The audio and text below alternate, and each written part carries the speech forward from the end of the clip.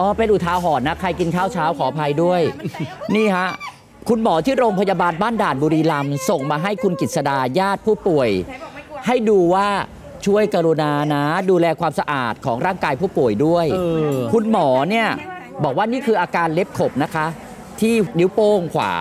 มันบวมเป่งเลยฮะเขี่ยไปเขี่ยมาเจอหนอนแมลงวัน 6 ตัวเดี๋ยวคุณมันมันเล็บขบยังไงให้มีหนอนได้อะคือมันต้องรักษาความสะอาดให้อะเออคุณผู้ชมครับเนอะ ญาติผู้ป่วยเล่าให้ฟังบอกว่าพ่อเคยมีอาการเล็บขบมาหลายปีอืมปกติจะตัดเล็บแล้วก็งัดเล็บเพื่อให้หายฮะอ่ารอบนี้เนี่ยมันปวดมากก็เลยพาไปหาหมอครับสุดท้ายมาเจอหนอนแมลงวันอยู่ในนิ้วเท้าของพ่อฮะส่วนตัวคิดว่าแมลงวันมันน่าจะมาวางไข่ที่นิ้วเท้าของพ่อแล้วมันก็อักเสบแล้วก็เลยมีหนองจะเป็นไปได้นอนแล้วไม่รู้เรื่องไงเอออะคุณหมอบอกว่าวิธีการที่ดีที่สุดนะสำหรับใครที่เป็นเล็บขบคือตัดเล็บอะไรเสร็จแล้วงัดเสร็จแล้วเนี่ย